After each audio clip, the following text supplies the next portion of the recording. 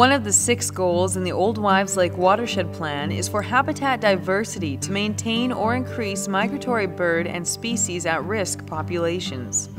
The Old Wives Lake watershed has a diversity of important habitats, from creeks and wetlands to healthy riparian areas and floodplains, from cropland, pastureland, and native prairie to the large saline lakes. Healthy habitats play a critical role in maintaining populations of migratory shorebirds and species at risk. Old Wives Lake has been designated an important bird area, a federal migratory bird sanctuary, and a key site in the Western Hemisphere Shorebird Reserve Network. Old Wives Lake, Chaplin Lake, and Reed Lake are on the flyway used by many migratory shorebirds. The lakes are very shallow with water levels dependent on the amount of rainfall and spring runoff generated throughout the watershed. The fluctuating water levels provide excellent breeding and rearing habitats over the summer. Shorebirds have pointed wings, pointed bills, and long legs. No webbed feet here. During the spring migration, over half of the world's population of sanderlings is thought to stop at Chaplin Lake and Old Wives Lake before continuing to the Arctic. The American avocet is one of the larger shorebirds found on Old Wives Lake during the summer its bright, rusty orange neck and head are easily spotted bobbing for insects and brine shrimp. Piping plovers sport a tan back, white belly, and a single blackish band around the neck and across the forehead.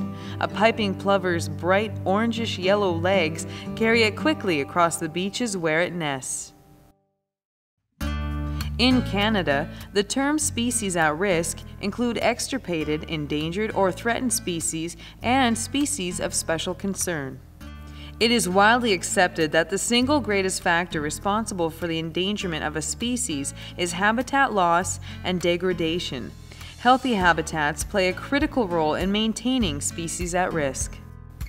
19 species at risk have been documented in the Old Wives Lake watershed, some of the more commonly known ones include burrowing owls make their homes in old mammal burrows over the summer.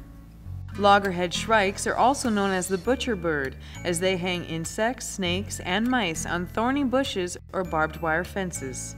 Northern leopard frogs get their names from the brown or green dark spots surrounded by lighter borders on their backs and sides. Monarch butterflies are a species of concern. They rely primarily on milkweed and secondly on wildflowers for survival. Species at risk is a term not exclusive to animals, but can also include plants. Over 50 additional rare plants are found in the Old Wives Lake watershed. Gumbo evening primrose and tumblegrass are just a few.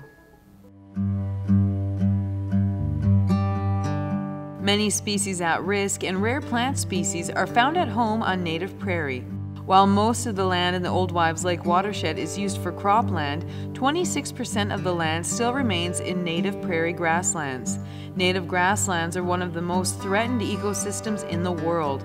Threats to native grasslands include invasive species encroachment, cultivation for annual crops, and invasion of tree species.